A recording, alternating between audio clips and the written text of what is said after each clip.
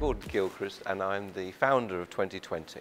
The reason why MyFirmsApp is interesting to me and why I would encourage accountancy firms to have a look at it is first of all it's so new to the market, it's very cool to have an app and there are very few players out there that have recognized that the accountants are probably the leading individual trusted advisors from which an app and all that's related to it could naturally rest.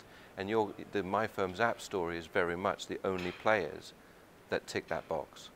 Yeah, the feedback I've had actually has been fantastic. Um, being accountants, they often say, well, you know, how much do you cost? What's the benefit?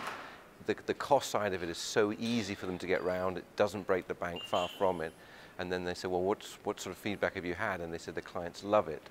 And I said, well, how many clients have you got through and downloaded it? And they said, well, we've got some, but you know, what we're finding is more and more and more clients are interested, not least because of the functionality that's available with the MyFirmsApp. The push notifications of course, much easier for people to understand. We can relate to that. The open rate would be, what, 90 plus percent. Um, I'm sure that will eventually lower over time like the emails did.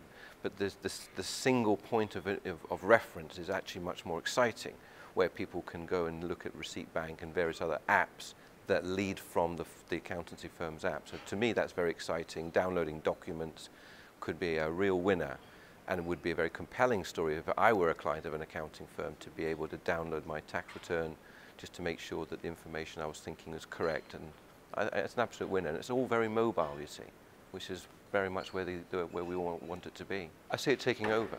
I mean, absolutely taking over. I think the whole mobile story is going to be, we were introduced to a firm in um, America that didn't know their clients. The whole firm was digital. They literally didn't know their clients from all over the world. And all of those clients are running their business using the iPhone or their iPad to produce information, suck down information.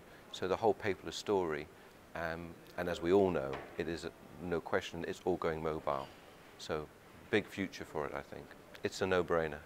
Just do it. You've just got to do these things.